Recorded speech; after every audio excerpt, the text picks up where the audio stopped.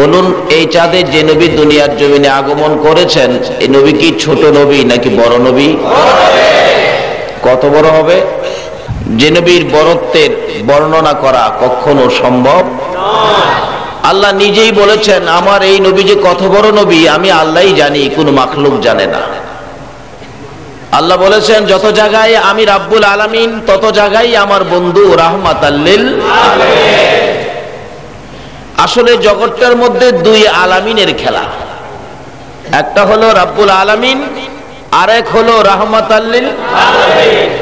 সেই নবীর উম্মত আওয়াজ যদি এত ছোট দেয়, তাহলে বুশের হাতে মায়ের আরও খাইতে হবে।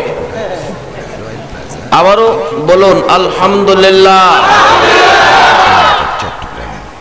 এবারও হয় নাই। আরও বড় কেন? এ নবীর উম্মতের মর্যাদা কি কম না বেশি? আল্লাহ নিজেই তো বলেছেন বন্ধুগো তোমার একটা উম্মত পৃথিবীতে থাকতে এই পৃথিবী ধ্বংস হবে না। তোমার একটা উম্মত হাসরের ময়দানে থাকতে আমি আল্লাহ বেহেস্তের দরজা বন্ধ করব না। একটা উম্মতের এত মর্যাদা যে নবীর সে নবীর উম্মতের আওয়াজ এমন হবে কেন? গর্জিয়াস হবে। খোলাফায়ের আশি দিন খুলুন। মদিনার ইতিহাস। হজরত ওমর ফারুক রাজি আল্লাহ আনহু যখন মদিনার শাসক ছিলেন, মদিনায় একবার ভূমিকম্পে মাটি থরথর করে কাঁপতেছিল। মানুষ তো ভয়, আতঙ্ক, কি জানি কি হয়। ওমর বলেন, ভূমিকম্পে আপনাদেরকে আতঙ্কের মধ্যে ফেলেছে? দাঁড়ান, ভূমিকম্প থামাইতেছি। গড়ের ভিতর থেকে লাঠি নিয়ে বেরিয়েছে। লাঠি নিয়ে ভূমিকম্পকে আঘাত করে বলতেছে, হে ভূমিকম্প এই সাহস কই পাইলি? থামলি না সাইজ কিরালামু আঘাতের পর আঘাত করে ভূমিকম্প থামাইলেন। ওমর বলতেছেন, এরে মদিনার মাটি, ভূমিকম্পের নামে এইভাবে নড়াচুরিটা করলি, তোর কি লজ্জা করল না? তুই কি জানোস না, এই মাটিতে যে আমার রাসূল ঘুমায় উমরের চাবুকের আঘাতে মদিনার মাটি এমন ভাবে খামোশ হয়েছে, চুপ হয়েছে কেমন পর্যন্ত মদিনায় আর ভূমিকম্প হবে না। যেই নবীর উম্মত ভূমিকম্প থামাইতে পারে, সেই নবীর উম্মতের আওয়াজ এত দুর্বল হইলে নবীর উম্মতের ইজ্জত থাকে না। শেষবারের মতো গর্জিয়াস কণ্ঠে আবারও বলুন, আলহামদুলিল্লাহ। মাশাআল্লাহ, এইবার ঠিক আছে। আচ্ছা বলুন তো আপনারা আলহামদুলিল্লাহ দিয়ে কার শুকুর আদায় করলেন? আরও জনে বলুন। কোন আল্লাহ চিনছেন তো? যার জমিনে থাকেন, যার জমিনে বাড়িঘর করলেন গাছ গাছরা লাগাইলেন, এই জমি জামা সবকিছু যার, সে আল্লাহর শুকুর আদায় করলাম। ঠিক আছে তো? কার শুকুর আদায় করলেন? আল্লাহ শুনছে তো? আল্লাহ নিজে বলেছেন, আমাকে যে স্মরণ করে, আমিও তাকে স্মরণ করি। ফাজ করু নি আজ করকু আল্লাহ এখন আরও সে বসে আপনাদের স্মরণে মাহফিল করতেছে। ও ফেরেস তারা শুনো, একটা বিশাল আওয়াজ হইল সম্মিলিত কণ্ঠে। আওয়াজটা কোথায় হইল? ফেরেস তারা বলেন, এটা তো সাতকানিয়ায় আচ্ছা আল্লাহ কি জানে না কোথায়? তারপরও কেন জিগায়? তাহলে বোঝা গেল নিশ্চয়ই কোনো কারণ। তারা কি কইল? ফেরেস্তারা বলেন, তারা তো আপনাকে আল্লাহ বলল। কারণ এটাই। যেদিন আমাদের আদি পিতা আদম নবীকে সৃষ্টি করবেন ফেরেস্তারা বলছিলেন, খোদা গো, এই জাতি খামাখা কেন বানাইতেন? হেরা তো আপনারে আল্লাহ বলে ডাক দিবে না। আমরাই তো আপনারে ডাকি। হেরা কি আপনারে আল্লাহ বলে ডাক দিব? আল্লাহ বলছিলেন, ডাক দিব না দিব, তোরা কি জানোস? কলা, ইন্নি আলামু মালা তালামুন। এই ব্যাপারে আমি যা জানি, তোরা তা জানোস না। আচ্ছা বলুন তো, আল্লাহ কি ফেরেস্তাদের পক্ষে না আমাদের পক্ষে? আজকে আমরা তো আল্লাহকে আমাদের পক্ষে রাখতে পারি না। যদি আমাদের পক্ষে রাখতে পারতাম, তাহলে বিজাতিদের হাতে আমরা মার খাইতাম। প্রশ্ন আসবে, হুজুর, আমাদের পক্ষে আল্লাহ কেমনে থাকবে? আল্লাহ বলেন, তোমরা যখন যাবে আমার রাসূলের পক্ষে, আমি থাকব তোমাদের পক্ষে। যতদিন পর্যন্ত তোমরা আমার রাসূলের পক্ষে না যাবে, ততদিন পর্যন্ত আমি তোমাদের পক্ষে থাকব না। বাস্তব।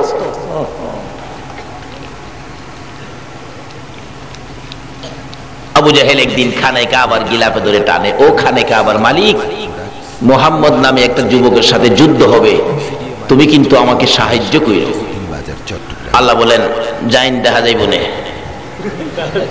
একটু পরে আমার নবীজিও আসছে, প্রভু গো, আমার তো কেউ নাই আপনি ছাড়া। যুদ্ধে যেতে হবে, আমাকে কিন্তু সাহায্য করেন আল্লাহ বলেন বন্ধু গো হেলাও আইসিন আচ্ছা ঠিক আছে যান। আচ্ছা আপনাদের কাছে প্রশ্ন দুজন খানায় কাবায় সাহায্য চাইছেন সাহায্য আল্লাহ কাকে দিবেন? আরও জোরে কর আপনারা কি সে রাসুলের পক্ষে থাকতে রাজি আছেন? কে কে রাজি? হাত তুলে দেখান তো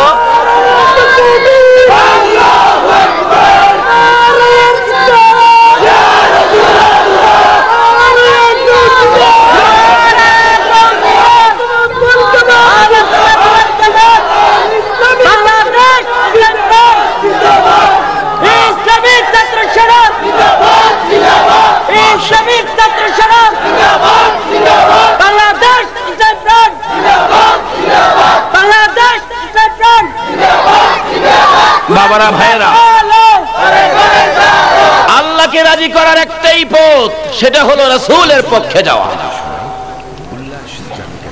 কারণ এখানে বুজার আছে, এক নবীর জন্য যদি এত কিছু করতে পারে, তাহলে এখানে কিছু বুজার আছে। তাই বলছিলাম, এখন আল্লাহ সাহায্য কাকে দেবেন? কীভাবে দেবেন? এই তো দেখেন।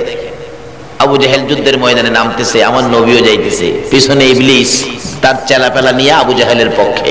আবু জাহেল, চিন্তা করো না, আমার লক্ষ লক্ষ চেলাপেলা আছে, সব তোমার সাথে যাবে, তোমার পক্ষে কাজ করবে। আমার আল্লাহ কয়, ও জিব্রাইল, আরে আবু জাহেলের পক্ষে ইবলিস নামছে, তোমরা যাও না। বলুন তো, ফেরেশতারা কার পক্ষে আসতেছে? আরে, এই নবী, ওই তো আমরা নবী। যদি আমরা এই নবীর পক্ষে যাইতে পারি তাহলে আল্লাহ থাকবে আমাদের পক্ষে।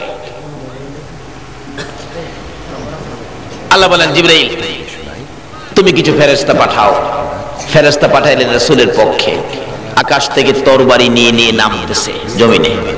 কিন্তু আবু জাহেল তো আর দেখে না, দেখছে ইবলিস। ইবলিস দেখা কয়, সঙ্গীরা রে, যেই বাহিনী আকাশ থেকে নামতেছে, এই বাহিনীর সাথে কোলানো যাবে না। লড়বি না মরবি? কই বস, কন কি? ওই অবস্থা সুবিধা না। তাড়াতাড়ি ময়দান ছাড়। মরে মরে আবু জাহিলি মরুক। বলুন, আকাশ থেকে কোন বাহিনী নামতেছে? তরবারি নিয়ে ফেরেস্তা নামতেছে। অহন বিজ্ঞানের যুগ, যুবকেরা বলবে, হুজুর, এখন কি তরবারি দিয়ে কিছু করা যাবে? ফেরেস্তা এলেই বা কি হবে? এখন তো বিমানের যুগ, উপর থেকে বিমান দিয়ে বুমিং করে আমাদেরকে শেষ করে ফেলবে। আল্লাহ বলবেন, ভয় পাও না, তোমরা আমার রাসুলের পক্ষে থাকো, বিমানের ব্যবস্থা আমি আল্লাহর কাছেও আছে। আর পৃথিবীর বিজ্ঞানের বিমানে তেল মোবিল দিতে হয়, পাইলট দিতে হয়, নাট বল্টু দিতে হয়। আমি আল্লাহর গোডাউনে যে বিমান আছে, তেল মোবিল, পাইলট, নাট বল্টু লাগে না। হুকুম দিলেই বোম্বিং শুরু করবে। বিমানগুলোর নাম কি? কোরআন শরীফ ও আরসালা আলাইহিম তাইরান আবাবি। আসেনি আসেনি। সবগুলি আমাদের পক্ষে আসবে। আমরা যখন রাসূলের পক্ষে যাব, রাসূলের পক্ষে যাওয়া আমাদের দরকার আসেনি। কেন যাবেন না? আমার নবী যেদিন এই সোনার মদিনার মাটিতে শুয়ে যাবেন, আমার আল্লাহ প্রস্তাব করেছেন রে, যা রে আমার বন্ধুর কাছে যা। এই জমিনে বহু জায়গায় আমার বন্ধু মার খেয়েছে, বহু জায়গায় আমার বন্ধুর রক্ত মুবারক লেগে আছে। এই রক্ত মাখা জমিনের মধ্যে আমার বন্ধুর দাফন হবে না। আমার পক্ষ থেকে একটা প্রস্তাব আমার বন্ধুর দরবারে তুলে ধরো। আমার বন্ধুর দেহ মুবারক, আমার আরশের ডাইন পাশে দাফন হবে। জিব্রাইল বলেন, প্রভু গো, এই প্রস্তাব তো আর কারও জন্য করেন নাই। আপনার বন্ধু খুব খুশি হবে। আমার আল্লাহ বলেন, জিব্রাইল রে, আমি তো চাই রে আমার বন্ধু খুশি করার জন্য। যাও, জলদি যাও। জিব্রাইল নবীজির সামনে হাজির। ইয়া রাসূলুল্লাহ, আল্লাহর সালাম গ্রহণ করুন, আমি জিব্রাইলের সালাম গ্রহণ করুন। আল্লাহর নবী গো সুন্দর প্রস্তাব যেটা নবী রাসূলের জন্য হয় নাই, আপনার জন্য হয়েছে। কি প্রস্তাব? হুজুর, আপনার দেহ মুবারক, আল্লাহর আরশের ডাইন পাশে দাফন হবে, আপনি কবুল করুন, খুশি হন। আমার নবী খুশি হয় না, কোনো কথাও নবী কয় না, দুইটা চোখের পানি এতিম নবী জর্জর করে ছেড়ে দিছে। জিব্রাইল বলেন, ইয়া রাসূলুল্লাহ, এত সুন্দর প্রস্তাব চোখের পানি ছেড়ে দিলেন, খুশি হলেন না, কথাও বললেন না, ব্যাপারটা কি জানতে চাই? আমার নবী বলেন, জিব্রাইল রে, আমার দাফন হবে আল্লাহর আরশের ডান পাশে। আমি জানতে চাই রে জিব্রাইল, আমার গুনাহগার উম্মতের দাফন কই হবে? জিব্রাইল বলেন, ইয়া রাসূলুল্লাহ, আপনার উম্মতের দাফন এই জমিনের মধ্যে হবে। আমার নবীর কান্না আরও বেড়ে গেছে। আ জিব্রাইল না না এই প্রস্তাব আমি রাখতে পারব না। আমার উম্মতারা এই জমিনে থাকবে, আমি নবী আরও সে পরে থাকব। আমি কেমনে থাকব রে আমার উম্মত ফালাইয়া? আমার পক্ষ থেকে একটা প্রস্তাব আমার প্রভুর দরবারে তুলে ধরো। আমার গুনাহগার উম্মতেরা যদি এই জমিনে থাকে, আমি নবী আরও সে যাব না। আমি আমার উম্মতের পাশে এই জমিনে শুয়ে থাকব। জিব্রাইল বলেন ইয়া রাসূলুল্লাহ উম্মত ফালাইয়া আরও সে যাবেন না উম্মতের সাথে এই জমিনে থাকবেন। হ্যাঁ, আমি উম্মত ছেড়ে যেতে পারব না। আল্লাহ নবী গো উম্মতের জন্য এত মায়া এখানে থাকবেন। হ কি হবে? আমার নবী ওয়াজ করেন জিব্রাইল তুমি কি দেখো নাই? দুনিয়ার জমিনে বাচ্চা লইয়া মুরুখ যখন ঘোরাফেরা করে একটু বিপদ দেখা দিলে মা মুরুখটা দুইটা পাখা বাড়াইয়া দেয়। বাচ্চাগুলো পাখার নিচে আসলে মুরুখটা বাচ্চাগুলো বুকে লইয়া অতি শান্তিতে বসে থাকে। জিব্রাইল, আমি নবী মদিনায় শুয়ে থাকব রে। আমার উম্মতের বিপদ যদি দেখা দেয় রে, আমি নবী দুইটা হাত এইভাবে বাড়াইয়া দিব। আমার তাম পৃথিবীর উম্মতগুলো দুই হাতের মধ্যে লইয়া রে আমি নবী, সুখী শান্তিতে শুয়ে থাকব। আর এই উম্মতের কান্ডার গো নবী, রহমতের বান্দার বলুন, উম্মতের কান্ডার গো নবী। নবী বিনে রোজ হাসরে কে করিবে পার। নবী বিনে রোজ হাসরে উম্মতের কান্ডার গো নবী, রহমতের বান্দার। উম্মতের কান্ডার গো নবী, মোদের নবী দয়ার সাগর গুনাগার উম্মতের পাগল। মোদের নবী দয়ার গুনাগার উম্মতের পাগল। রোজ হাসরে সেজদাই পরে কাঁদবে যারে যার। রোজ হাসরে সেজদাই পরে কাঁদবে যারে যার। উম্মতের কান্দার গো নবী, রহমতের বান্দার। উম্মতের কান্দার গো নবী, যাইয়া দেখো মদিনাতে কান্দে নবী রৌজা পাকে যাইয়া দেখো মোদি। কান্দে নবী রৌজা পাকে মাফ করিয়ে দাও গো খোদা উম্মদ গোনাগার মাফ করিয়ে দাও গো খোদা উম্মদ গোনাগার উম্মতের কান্দার গো নবী, রহমতের বান্দার। উম্মতের কান্দার গো নবী। নবী বিনে রোজ হাসরে কে করিবে পার? নবী বিনে উম্মতের কান্দার গো রহমতের বান্দার। উম্মতের কান বলুন, এ নবীর পক্ষে থাকলে লাভ হবে না লস হবে? আসুন না, কি লাভ দেখি? আজকে লাভের চাঁদ রবি উলাওয়াল চাঁদ। তাই আমরা সে নবীর উম্মত হয়ে শুকুর আদায় করেছি কার? আল্লাহ। আরও জোরে। আল্লাহ আল্লাহ। আল্লাহ এখন বলতেছেন, ও ফেরেস্তারা আমার বান্দারা, আমাকে আল্লাহ বলে ডাক দিল। তোরা শুনছস ফেরেস্তারা কই শুনছি তো তোরা না কইছিলি এরা নাকি আমার আল্লাহ বলে ডাক দিবে না? ওই কবের কথা আজকে উড়াইছে। তাহলে এতে কি বোঝা গেল ফেরেস্তার পক্ষে না আমাদের পক্ষে? আচ্ছা সে আল্লাহ যদি আমাদের পক্ষে থাকে, বলুন, আমাদের কোনো আর অসুবিধা আছে?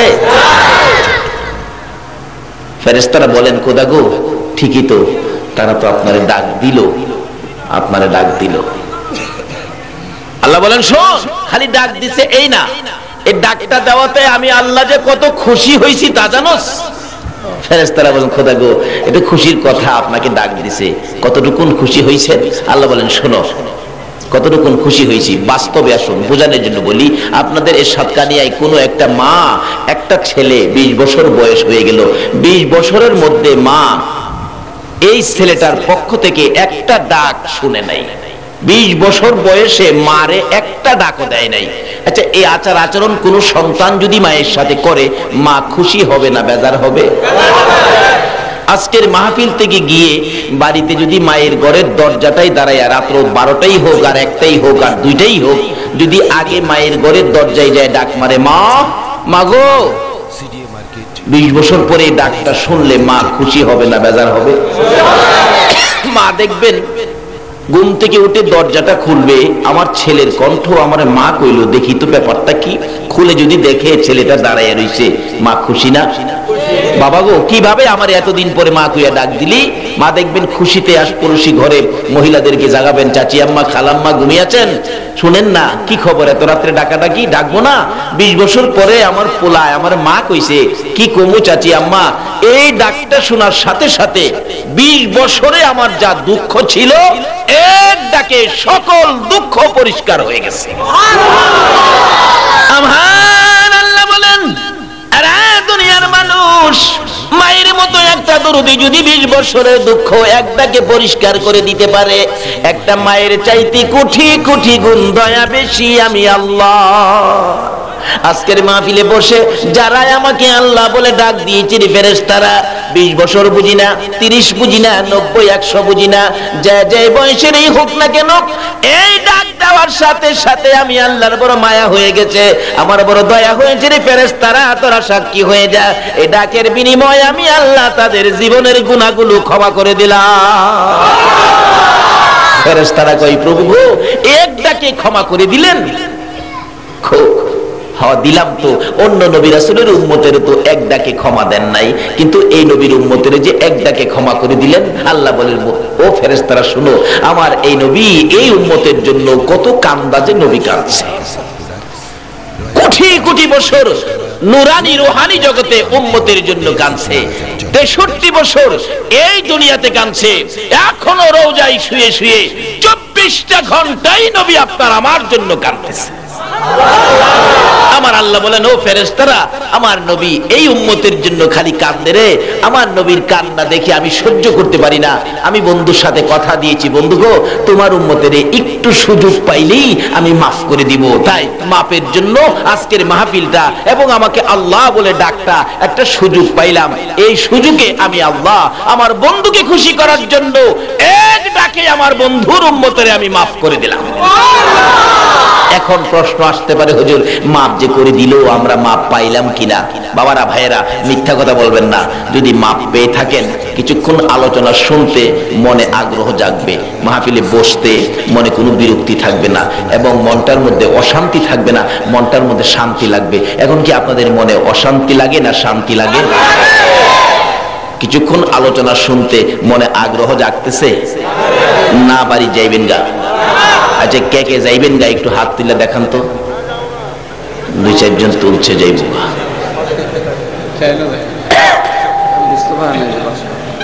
কিছু লোক হাত তুলছে যাইব গা।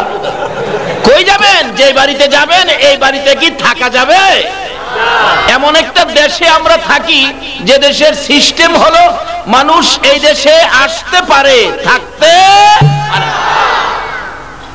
এদেশের নিয়ম হইল মানুষ আসতে পারবে, থাকতে পারবে না। কোটি কোটি টাকার মালিক হতে পারবেন, যাওয়ার সময় দশটা পয়সা নিতে পারবেন না, একবারে খালি হাতে যাইতে হবে। কাজী, যারা হাত তুলছেন, আমি অনুরোধ করি আপনারা যাইেন না। না যাইবেন গা। আসলে হেরা ইচ্ছা করে তুলে নাই। এটা ভুল বশত তুলছে, কি বলে ঠিক না? দেন ফেরেস্তারা কইতেছে, খোদা গো, আপনার বন্ধুর উম্মতারা টুকটাক ভুল করে ফেলছে, এত বরকতের মাহফিল থিয়া আর বাড়ির যাইবার চাইতাছে, হাত তুলছে। আল্লাহ কয় কি হইল? কয় বেজাল লেখি। আল্লাহ কয় কি লিখতি? চুপ থাক। তো বেজাল তো করল, হাত তুললো বাড়ির যাইবুগা কারে তুলছে, চুপ থাক। এই ছোটখাটো বেজাল এগুলি আমি দেখব না। বাস্তবে আসুন। আপনাদের সাতকানি আই, যদি বিবাহ শাদী হয়, দেখবেন বরের পক্ষের মেহমান, চৈত্র মাস গরমের দিন। আইসাই দেখবেন পানি পানি পানি শুরু করে। গ্লাস কই পানি খাব? গ্লাস আনতে যায় বাচ্চা পোলা পান দুই চারটে গ্লাস বাইঙ্গেই ফেলাইছে। মেয়ে পক্ষের লোকেরা কয়, এই ছেলে পক্ষের লোকজন তো খুব গরম, আইসাই গ্লাস ভাঙ্গা শুরু করছে, চারটে ভেঙে মেয়ের বাবা কয়, দেখ, সমস্ত আয়োজন তো হেরার লেগে ছেলে পক্ষের মেহমানের জন্য আমার সত্তর হাজার টাকার আয়োজন। সবগুলি তো তাদের জন্য। চারটে গ্লাস ভাঙছে তাদের কোনো কথা কইতে পারবি না। চারটে ভাঙছে প্রয়োজনে আমি হাতটা কিনা দিয়ে আলামো কথা কইতে পারবি না।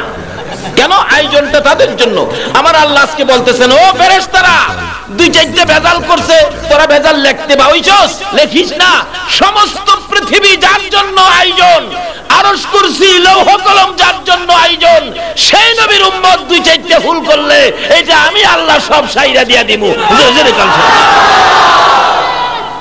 বলুন, আমার এই নবী না হইলে এই জগৎ সৃষ্টি হইতো? কাজী বসুন ইনশাআল্লাহ। আপনাদের মনে অশান্তি না শান্তি? এখন আল্লাহ বলতেছেন, ফেরেশতারা, তাদের মনে শান্তি লাগে, তাদেরকে মাফ করে দিছি। যদি দুই চারজন এরকম থাকেন, হুজুর শান্তি টানতে আমি বুঝি না, তাইলে আমি মনে করব আপনি কিছু বেজাল আছেন। হুজুর, বাড়ি জামুগা আমি পায়ে ধরবো, বাড়িতে যাইন না, আখিরি মনাজাত পর্যন্ত বসেন। আখিরি মনাজাতে হাত বাড়াইলে ফেরেশতারা কইব, খোদা গো, ওই যে কয়েকটা বেজাল ছিল, হেরাও দিয়ে আবার হাত বাড়াইছে। আল্লাহকে বই, আমার বন্ধুর উম্মতের বেজাল কইছস? যা, এতগুলি মানুষ মাফ পাইছে, দুই চারজন আর বেজাল রাখতাছি না। সকলের সাথে দুই চারজনকেও আমি মাফ করে দিলাম। অনেক সময় চাউলের সাথে পাথরের কণা, বিশ টাকা কেজি একদমে বিক্রি হয় না? পাথরের কণা যদি চাউলের সাথে বিশ টাকায় বিক্রি হতে পারে, দুই চারটে বেজাল কি আজকে একদমে বেচা কিনা হইতে পারে না? বসুন বাবারা ভাইয়েরা, আজকে আমরা এমন এক চাঁদে বসেছি, বলছিলাম এই চাঁদের নামটা জানি কি? আসুন, আলোচনায় যাই। মহব্বতে আর একটু দুরুশ্বরী পড়ুন, সাথে সাথে আলোচনায় ঢুকে যাব। আল্লাহ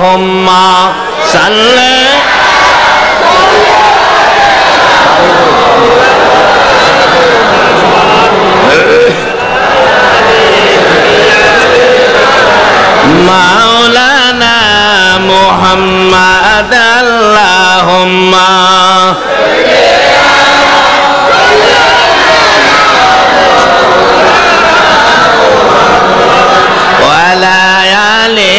সৈয়দনা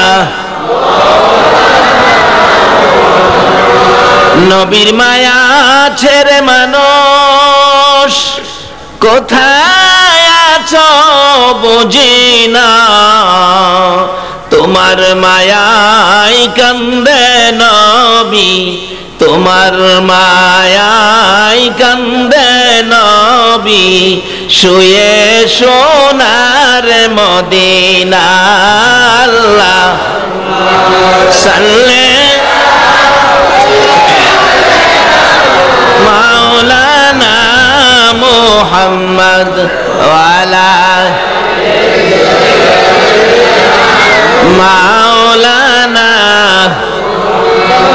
بلغ العلا بكماله كشف الدجى بجماله حسنت جميع خصاله صلوا আসুন আলোচনায় যাই যে আল্লাহ আমাদেরকে আখিরি নবীর উম্মত করে রবিউল আউয়াল চাঁদে পবিত্র ঈদে মিলাদুল নবীর মাহফিলে আমাদেরকে আসার বসার তফিক দিয়েছেন আমরা সে আল্লাহর শুকর আদায় করেছি তার সাথে সাথে আমরা আলোচনায় ডুববো আজকে এমন এক চাঁদে মাহফিলের আয়োজন। বলুন এই চাঁদের নামটা জানি কি? চাঁদে মাহফিলে আনন্দের সহিত যারা ঢুকতেছেন, আসছেন, আল্লাহ কি বলছে? ও ফেরেস্তারা সামনের পাওটা ফালাইয়া পিচের পা উঠাইবার আগে আমি তাদেরকে মাফ করে দিলাম। আচ্ছা আমরা তো কেউ মাপ চাই নাই। মাপ চাইছেন আপনারা? কিন্তু মাপ চাই নাই মাফ করে দেয়। আর অন্য অন্য নবী রাসুলের উম্মতেরা মাপ চায়াও মাপ পায় না। উম্মত তো আসি এমনকি কোন কোন নবীও মাপ চাইতে চাইতে চাইতে চাইতে জীবন যায়, মাপ পায় না। যেমন হজরত আদম আলী সালাম, একটা কথা অমান্যের জন্য কাঁদছিল কত বছর? সাড়ে তিনশো বছর, কোন কিতাব লেখে তিনশো ষাট বছর। কানতে কানতে চোখের পানি দিয়া এই গালের গোস্তগুলি পয়সা হাড্ডি বাহির হয়ে গেছে। আল্লাহ কয়, কান, কত কান্তারস? প্রশ্ন আসতে পারে আল্লাহ কেন আদম নবীরে কান দেয়া খালি? কয়, কানতে কারণ আছে। কিন্তু আদম নবী মাপ চাইও তিনশো ষাট বছর, এরপরে কবুল হইছে। আর আমরা মাপ চাই না, সামনের পাও ফালাইয়া, পিছের পাও উঠাইবার আগে মাপ। কারণ আদম নবীর এত দেরি হওয়ার পিছনে কারণ আছে। সে কারণটা হলো, একদিন হজরত আদম আলাইসাল্লামকে আমার আল্লাহ দেখাইতেছেন, আমাদের নবীর নূরে মোহাম্মদী সাল্লাম নূরের টুকরাকে দেখাইতেছে। কি সুন্দর ঝলমল করতেছে। আদম নবী জিগায়, আল্লাহ গো, এই যে জিনিসটা দেখা যায়, এটা এত সুন্দর ব্যাপারটা তো খুব সুন্দর। খোদা গো, কি সুন্দর। আল্লাহ কই আদম রে, খুব সুন্দর। সুন্দর হইলে তো সুন্দরই লাগে। কিন্তু শোনো, এটা যতই সুন্দর হোক, এটা কিন্তু তোমার সন্তানদের মধ্যে কিন্তু আসবে। আদম নবী কয়, আমার সন্তানদের মধ্যে আসবে, এত সুন্দর। খোদা গো, আমার একটু দেন না, আমার একটু দেন না দেন না, একটু দেন না। আল্লাহ দিছে নবীজির নূর মোবারককে পিঠের মধ্যে। আল্লাহ কই কই দিলেন? আল্লাহ কই তুই তো কইসস দিবার লেগে, কই দি মহিটা তো কস নাই। কইসস দিবার লেগে দিলাম। কই সামনে দেন না, সামনে সামনে। দিছে আইনা কপালে। যদিও কপাল সামনে আচ্ছা বলুন তো, কপাল কি নিজের কপাল নিজে দেখে? যদিও সামনে।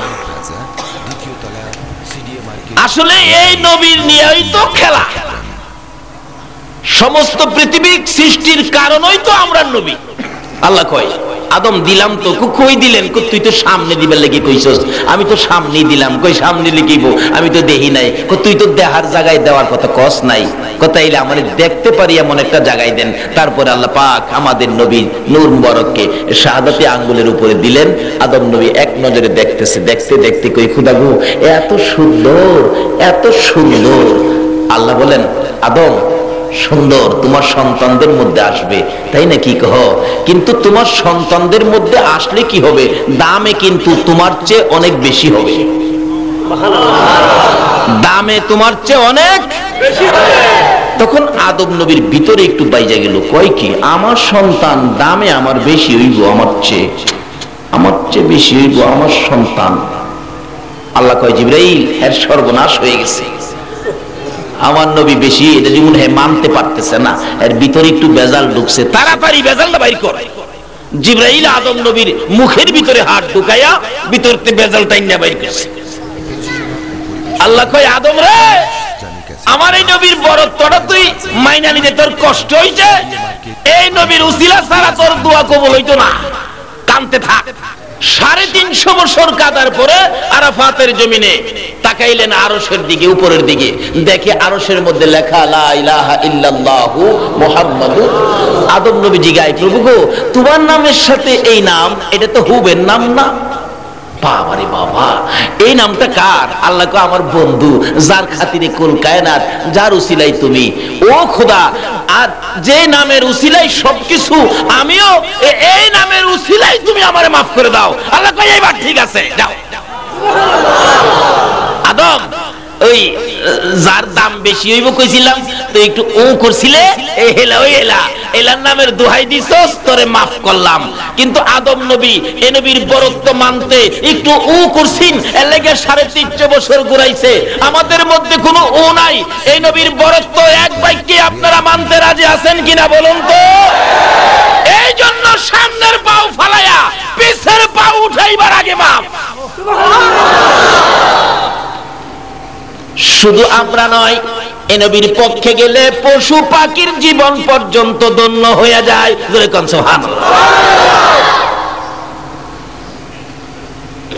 জঙ্গলার হরিণী শিকারীর হাতে বন্দি হয়ে পড়ে আছে।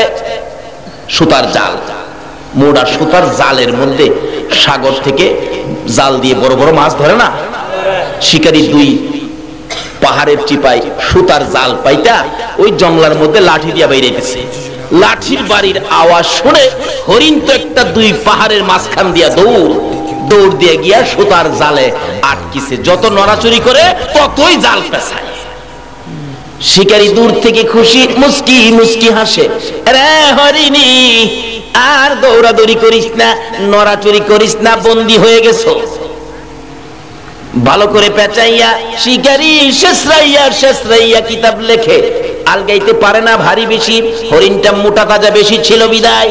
শেষরাইয়া নিতেছে, হরিণী, শেষরাইয়া নিতে যাইয়া গো, এই পাথরের কনাই লাইগা হরিণের সমস্ত চামড়াগুলো শিলা রক্ত বাহির হইতেছে। হরিণ গাছের যখন জালটা দিয়ে বেঁধে রাখল, হরিণ চোখের পানিগুলো ছেড়ে ছেড়ে কানতেছে একটু পরে দেখা যায়, দয়ার নবী, মায়ার নবী এই রাস্তা দিয়ে আসতেছে। হরিণ দূর থেকে আমার নবীকে দেখে চোখের পানি ছেড়ে ছেড়ে ডাকতেছে, প্রভু গো, আমার জবান খুলে দাও না। তোমার বন্ধু রাহমাতাল্লিল আলামিনের কাছে আমার মনের দুঃখগুলি বলি। আল্লাহ বলেন, জংলার হরিণ রে, আমার বন্ধুর সাথে কথা বলার জন্য জবান খুলতে চাইছস। যে নবীর সিলাই এত কিছু করেছি, এই নবীর সাথে কথা বলবি, যা তোর জবান খুলে দিলাম যে নবীর পক্ষে গেলে জংলার হরিণের জবান পর্যন্তই আমার আল্লাহ খুলে দেয়। বলুন, এই নবীর পক্ষে গেলে আমরা লাভ হবে না লস হবে? কাছাকাছি আসার পরে হরিণ ডাকতেছে, প্রভু গো, আপনার বন্ধু আইসে গেছে, জবানটা খুলে দেন না। আল্লাহকে যা জবান খুলে দিলাম। হরিণ ডাকতেছে, প্রভু গো, আপনার বন্ধু আইছে কথা বলি, প্রথম সালাম দিলেন আসসালামু আলাইকা ইয়া রাসূলুল্লাহ। নবী কই, কি আশ্চর্য, হরিণ সালাম দিতেছে, কি ব্যাপার হরিণ? বিপদে পড়ে গেছি, শিকারীর হাতে বন্দি। দেখেন শেষরাই আনতে যাইয়া আমার চামড়া সিলাইছে, রক্ত বাহির হইতেছে। নবী গো, এটা তো সাধারণ দুঃখ, এর চেয়ে বড় দুঃখ, মাত্র দুইটা বাচ্চা প্রসব করেছি। সকালবেলা ওই পাহাড়ের কিনায়, জঙ্গলার কিনারে বাচ্চাগুলো রাইখা গাছ পানি খাইতে আসছিলাম। এখন শিকারীর হাতে বন্দি। আল্লাহ নবী গো, আমার বাচ্চা দুইটা না খায়া মরে যাবে। হুজুর, যদি দয়া করে একটু সুযোগ আমার দিতেন, আমি জীবনের মতো বাচ্চাগুলো দেখে আসতাম আর একটু দুধ বাচ্চাদেরকে জীবনের শেষ খাওয়া খাওয়াই আসতাম। আমার নবী তো দয়াল নবী, সকল সৃষ্টির জন্য যিনি করুণা। নবী ডাকতেছে, হরিণী, ঠিক আছে, যাও। জালের পেট ছোটায়া যে গাছের মধ্যে বান্দা ছিল, এই রশিটা, এই জালের সুতাগুলি নবীজি হাতে নিয়ে দাঁড়াইয়া রয়েছে হরিণ তো দৌড় মারছে। কিছুক্ষণ পর শিকারী হাজির। আমার হরিণ কোথায়? বাবারে, তোমার হরিণ তো সাইরা দিছি, কিছুক্ষণ পরে হরিণ আসবে। ওই লোক এটা কোন পাগল? শিকারীরে বলতেছে, জাল দিয়ে পেঁচাইয়া হরিণ ধরতে পারি না, আর হরিণ সাইরা দিলে হরিণ আসবে? এটা কোন পাগল? কি কয় রে? আচ্ছা আপনাদের ধারণা কি? যিনি হরিণ ছাড়ছে ফিরা আবার আইবনি আসতে কইলেন যে, আইতো না আইতো না? হরিণ দৌড়ে গেছে। যা দেখে বাচ্চাগুলি সারাদিন না খাইয়া থাকতে থাকতে একবারে ছোট বাচ্চা দুর্বল হয়ে পড়ছে। বাচ্চা দুইটার সামনে গিয়ে দাঁড়াইছে। চোখের পানিগুলি হরিণীর পড়তেছে। বাচ্চা জিগায়, মা মা, এত দেরি করলা যে তোমার শরীরে রক্ত দেখা যায় কেন? কে মারছে তোমাকে? কোন জায়গায় বিপদে পড়ছো? মা হরিণী কান্দে, ও বাচ্চারা, শোনো প্রশ্নের পর প্রশ্ন করো না, সময় নষ্ট করো না। শিকারীর হাতে বন্দি হয়েছি, দুধ খাবি রে। জীবনের শেষ দুধ আমার কাছ থেকে খেয়ে দে, মা বলে ডাক দিবি রে। জীবনের শেষবারের মতো মা বলে ডাক দিয়ে দে। বাচ্চা দুটো জিজ্ঞেস করে, কারণ কি? রে না, কারণ জিজ্ঞেস না, তোদের মায়াই রে, একটু দুধ খাওয়ানোর জন্য হাতে রশি লাগাইছি। বাচ্চা দুইটাও আমার নবীরে চিনে, বলুন হরিণের বাচ্চাও নবীরে চিনে কিনা? হরিণের বাচ্চা হইয়াও নবী চিনে গো, কিন্তু উম্মত হইয়া নবী চিনি না। একটা হরিণ, হরিণের জন্য নবী করো না কিন্তু নবীর পক্ষে গেলে, নবীর পক্ষে না গেলে না। বাচ্চা দিটা ডাকতেছে, বাচ্চা দিটা ডাকতেছে, মা, এত দেরি করলা যে? বাবারে, বিপদে পড়েছি, নবীজির হাতে রশি দিয়া তোমাদেরকে দুধ খাওয়াইতে আইছি। বাচ্চা দুইটা ডাকে, মাগো, নবীর সাথে বেয়াদবি কইরা আইছো আমরারে দুধ খাওয়াইতা? মা, না খায়া জীবন দিমু, তোমার দুধ খাইতাম না। বাচ্চা হরিণ চিনে, কিন্তু আমরা উম্মতের মধ্যে চিনে না।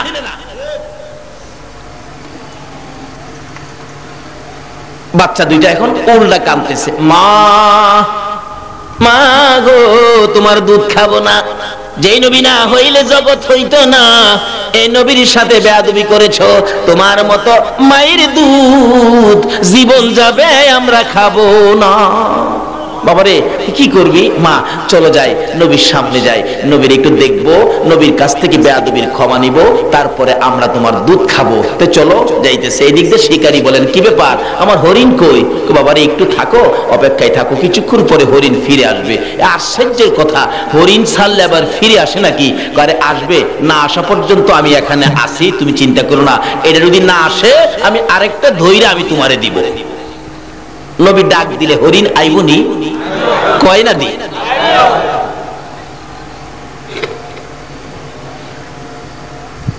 আচ্ছা দেখি, কিছুক্ষণ পর দেখা যায়, আগে আগে মা হরিণীটা, পিছনে দুইটা বাচ্চা আসতেছে।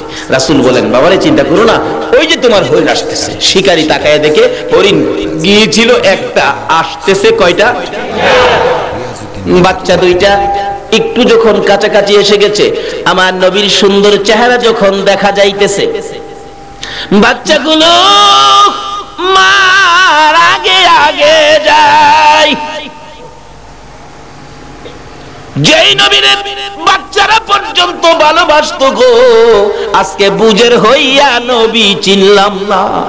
যেদিন আমার নবী মক্কা থেকে হিজরত করে মদিনায় যায়, মদিনার ইতিহাস খুলুন। এখনও মক্কা মদিনা ইতিহাসের ঘণ্টা বাজে। আমার নবী মদিনার সীমানার কাছাকাছি গেলে মদিনার লোকেরা দাঁড়িয়ে আছে, নবীকে ভালোবাসা দিবে। যেই নবীর ভালোবাসা রে ইয়াসরিব নামের পাথরের দেশ সোনার মদিনা হইয়া যায়। লোকেরা দাঁড়িয়ে আছে, নবীকে ভালোবাসা দিবে। কিন্তু বড়দের আগে বাচ্চাগুলো, ছোট ছোট ছেলে মেয়েগুলো একবারে সকলের সামনে গিয়ে দাঁড়িয়ে আছে। হাতে হাত ধরে নবীজি কাছাকাছি আসার পর আরবি দিয়ে গান শুরু করে দিয়েছিলেন তলাল আলাইনা। আমি তাকে বাংলাতে গান বানাইছি। আমার নবী মদিনার সীমানায় গেলে রাসূল বলেন ছোট্ট ছোট্ট ছেলে মেয়েরা সবার আগে আমাকে ভালোবাসা দিতে যাইয়া, বাচ্চাগুলো নবীকে করে দাঁড়াইয়া সবাই ডাকতেছে, আরে মা কুলে দেখো চাঁদ উঠেছে। বলুন, মা কুলে দেখো চাঁদ উঠেছে যাহারি প্রেমেতে জাহান পয়দা হয়েছে।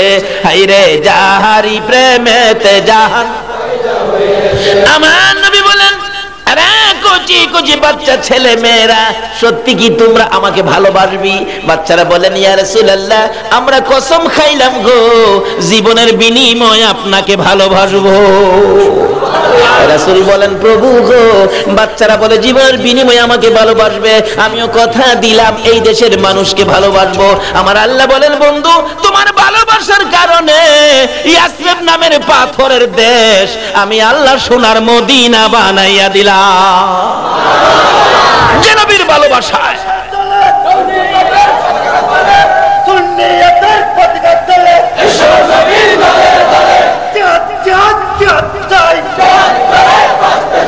আসুন আগে বাড়ি। বাবারা, কুচি কুচি বাচ্চারা পর্যন্ত নবীর চিন্ত। মার কুলের শিশুরা পর্যন্ত নবীকে চিনত। আজকে আমাদের কোন ভূতে ধরছে। নবীকে নিয়ে ধাক্কাধাক্কি করি। হরিণের বাচ্চাগুলো মার আগে আগে দৌড়ে যাইয়া একবারে নবীজির পাও মোবারকে পড়ে ডাকতেছে, আল্লাহর নবী গো, ও দয়ার নবী, মা বেয়াদবি করেছে, মাফ করে দেন। না হয় আমরা মার দুধ খাব না, জীবন দিব, দুধ খাব না। বড় হরিণ কাছে দাঁড়ায় রয়েছে আমার নবী ডাকে, ও শিকারী দেখ। হরিণ গিয়েছিল একটা, ফিরে আসছে তিনটা। আল্লাহ একবার কর। শিকারী কোনটা নিবি রে? বড় হরিণ নিবি, না বাচ্চা হরিণ নিবি, না যিনি হরিণ একটা ছাড়লে তিনটা আসে ওনাকে নিবি? অর্থাৎ হরিণ নিবি, বড়টা, না বাচ্চাটা, না নবীকে নিবি। শিকারী বলেন, একবার হরিণের দিকে চাই, আবার বাচ্চার দিকে চাই, আবার আমার নবীর সুন্দর চেহারার দিকে চাই। অবশেষে ডাক মারলেন, যেই নবী একটা হরিণ ছাড়লে তিনটা ফিরে আসে রে। আমি আর হরিণ নিব না, আমি সেই নবী নিয়ে নিলাম। এইভাবে রাহমাতাল্লিল আলামিনের প্রচার আমার আল্লাহ সমাজে ঘটিয়েছেন। আজকে সে নবীর উম্মত আমরা রবিউল আউয়াল চাঁদে এই মাহফিলে বসেছি। আসুন দেখি আমাদের জন্য কি বাজেট, কি লাগবে, কি দরকার, সব আজকে পাবেন। আমার আল্লাহ বলেন, নবীর আগমনের চাঁদে রবিউল আউয়ালে আমি আল্লাহ এমন একটা দরজাও বাকি ছিল না। যে রহমতের দরজাগুলো নবীর আগমনে আমি আল্লাহ খুলি না, সব রহমতের দরজা নবীর আগমনে আমি আল্লাহ খুলে দিয়েছি। আসুন। আমরা এই রবিউল আউয়াল চাঁদে সে নবীর পক্ষে স্বীকারোক্তি দিলাম। আমরা নবীর পক্ষে থাকব। আল্লাহ বলেন, আমার এই নবীর পক্ষে যারা থাকবে, আমি আল্লাহ তাদের পক্ষে থাকব। আসুন, বৃষ্টির দরকার, আমরা নবীর পক্ষে গিয়েছি। এখন দোয়া করব, আল্লাহ যাতে আমাদের শুধু বৃষ্টি নয়, আমাদের জন্য যত কিসিমের রহমত, বরকতের দরকার, আল্লাহ যেন আমাদেরকে সব এ রবিউল আওয়ালের বরকতে, নবীর আগমনের উসিলায় আল্লাহ যেন আমাদেরকে বৃষ্টি সহ সব কিসিমের বরকতের ভাগই করেন। সকলে বলুন আমিন আল্লাহুম্মা আমিন ربنا ظلمنا أنفسنا وإن لم تغفر لنا وترحمنا لنكونن من الخاسرين رب ارحمهما كما ربياني صغيرا رب العالمين তোমার নবীর আগমনের চাঁদ তোমার আগে খোলা লাগে না আমি যে বারবার বলতেছি, আমি দোয়া করতেছি দোয়া করতেছি। এর আগে আমার বলা উচিত ছিল না হুজুর, দোয়াটা পরে তাবারুকের ব্যবস্থা আছে। তাবারুক দিয়ে দেন। না লানাকুনান্না মিনাল খাসিরিন। রাব্বির হামহুমা কামা রাব্বায়ানি সগীরা। রব্বুল আলামিন জান্নাতের বাগানে বসে জান্নাতি মেহমান লইয়া আমি গুনাগার তোমার নবীর আশেক পাগল লইয়া। যেই নবী না হইলে জগৎ হইত না আরস কুরসি, লৌহ কলম হইতো না। ওই নবীর আগমনের চাঁদ, রবিউল আউয়ালে আমরা হাত বাড়াইছি। একবারে খালি হাত বাড়াই নাই, প্রভু গো, তুমি যার উপর ফেরেশতাদেরকে নিয়ে দুরুদ সালাম প্রেরণ করো। যাকে ইমানদার বলে ডাক দিয়েছ, ইমানদার লইয়া দুরুদ সালাম মদিনা পাঠাইছি। আমাদের দুরুদ সালামগুলো পাখির মতো উড়াইয়া উড়াইয়া, দয়ার নবী, মায়ার নবী রোজাত হারে পৌঁছাইয়া দা আমবুত ইহাকে উসিলা করে, রবিউল আউয়াল চাঁদ উসিলা করে, নবীর আগমন উসিলা করে আজকের মাহফিলে আমরা যারা হাত বাড়াইছি, মাবুদ রে, আমাদের সকলের জীবনের গুণাগুলো ক্ষমা করে দাও। জীবনে কত গুণা করেছি। তুমি যদি গুনার হিসাব জিগাও, আমরা কেউ হিসাব দিতে পারব না। শুধু শুধু লজ্জা পাবো গো। লজ্জা দিলে তোমার কি লাভ হবে গো আল্লাহ? কার জীবনে কত গুণা হিসাব জিগাইও না। কে নেককার, কে গুনাগার কাউরে কিছু কইও না। কে মেয়ে, কে পুরুষ, আজকের জন্য কে নামাজি, কে বে নামাজি কাউরে কিছু জিগাইও না। এ মাহফিলের খাতিরে নবীর আগমনের উসিলাই আমাদের তামাম জিন্দিগির গুনাহগুলো ক্ষমা করে দাও। মাবুদ ক্ষমা চাইলাম জীবনের গুনাহ, ক্ষমা করছ নিগো আল্লাহ। ডাকবেন না, আল্লাহ আল্লাহ, জীবনের গুণা ক্ষমা করছ নি। মাবুদ্রি ক্ষমা যদি না করো, কবে জানি মৌতের চিঠি দিয়া আজরাইল পাঠাইয়া দাও। কবে জানি বড় বাড়ি, বড় ঘর, সুন্দর বিছানার থেকে চারজনে দৌড়ে দৌড়ে টাইনা টাইনা বাহির করবে। উঠানের কিনারে পর্দা টানাবে। ও বড়ি পাতার গরম পানি করবে। নাকে কানে তুলা লাগাবে রে। উত্তর দিকে মাথা দিয়ে শুয়াবে। জীবনের শেষ গোসল করাইয়া সাদা কাফন পরাইয়া উঠানের মাঝখানে রেখে দিবে আদুরের সন্তানেরা ঘরের বারিন্দায় দাঁড়ায়া দাঁড়ায়া ডাকবে, বাবা, সাদা কাফন পরে কই যাইবা? আদুরের স্ত্রী ঘরের ভিতর যাইয়া বিছানাটার পাশে দাঁড়াইয়া ডাকবে, স্বামী গো, এই বিছানা খালি করে কই রওনা হয়েছ ওই দিন আসার আগে মাহফিলে বসে জীবনের গুনাহ ক্ষমা চাইলাম। তোমার নবীর আগমনের উসিলাই তামাম জিন্দিগির গুনাহগুলো ক্ষমা করে দাও। জীবনের গুনাহ ক্ষমার আসার দরখাস্তের পর আর একটা দরখাস্ত করি। তুমি কিন্তু রাগ হইও না। এতগুলো মানুষ রাত্র দুইটা পর্যন্ত বসে আছে। আমি জানি না রে কার মনে কি ব্যথা? আমি জানি না কার মনে কি দুঃখ। আমি জানি না রে কার মনে কি আগুন। একটু সময় দিয়ে যদি কাছাকাছি যাইয়া জিজ্ঞেস করতাম। সকলেই একটা না একটা দুঃখ বলতো। হয়তো কেউ কেউ বলতো, হজুর, আমার মা নাই গো। কেউ কেউ বলতো, হজুর, আমার বাবা নাই। আবার কেউ কেউ বলতো, হজুর গো, আমার মাও নাই, বাবাও না মায়ের অভাবী, বাবার অভাবী হইয়া যারা হাত বাড়াইছে রে আল্লাহ, এই মুহূর্তে ওই সকল মা বাবার কবর জান্নাতের বাগান বানাইয়া দাও। মা বাবা যারা দুনিয়াতে আছে, হায়াত বাড়াইয়া দাও। মা বাবা কেমন জিনিস বুঝার তৌফিক ছেলে মেয়েদেরকে দান করে দাও। আল্লাহ দাদা দাদি, নানা নানি, শ্বশুর শাশুড়ি আলিয়া ওলাদ বংশধর মই মুরব্বী, পাড়া প্রতিবেশী, খানদানবাসী, মহব্বতী, খাস করে এলাকার জমিনের নিচে যত মোমেন মোমেনাত ঘুমিয়াছে সকলের কবর জান্নাতের বাগান বানাইয়া দাও।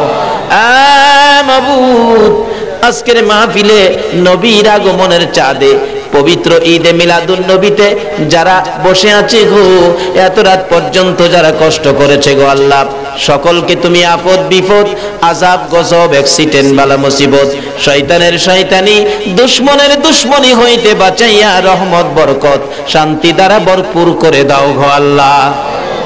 আয় মাবুদ, আমাদের মধ্যে যারা অভাবী অভাব দূর করে দাও, আমাদের মধ্যে যারা বিমারি, বিমার শেফা করে দাও। হসপিটালে যাইতে হবে, এমন রু কাউকে দিও না গো আল্লাহ। আমাদের মধ্যে যারা রেনগ্রস্ত আছে রেন থেকে উদ্ধার করে দাও। আমাদের মধ্যে যারা নামাজি, নামাজ কবুল করে লও। যারা নামাজ পড়ে না, নামাজের বুঝ দান করে দাও। যারা মদিনা যাওয়ার পাগল, পাখির মতো উড়াইয়া মদিনা লয়া যাও গো আল্লাহ। হাইরে সোনার মদিনা মদিনা গেলে রে কলি জামানে না। দুই হাজার একে যখন হজে গিয়েছিলাম, আগে মদিনায় নিয়ে গেছে। মদিনার সীমানায় ঢুকার আগে মোয়াল্লেম সাহেব বলতেছেন, হাজি সাহেবরা, দুরুদ শরীফ পড়ো, আমরা কিছুক্ষণের মধ্যে সোনার মদিনায় ঢুকে যাব। ঢুকে গেলাম, সোনার মদিনা শরীরটা শান্ত হয়ে গেছে। আর একটু যাওয়ার পরে ড্রাইভার সাহেব বলতেছেন, মোয়াল্লেম সাহেব, বাসের সকল জানালা বন্ধ করে দেন। মোয়াল্লেম সাহেব বলেন, আপনারা দুরুদ শরীফ পড়েন, জানালাগুলি বন্ধ করতেছি। জিজ্ঞেস করলাম, ও মোয়াল্লেম সাহেব, বাসের জানালা কেন বন্ধ করো মোয়াল্লেম বলেন, হুজুর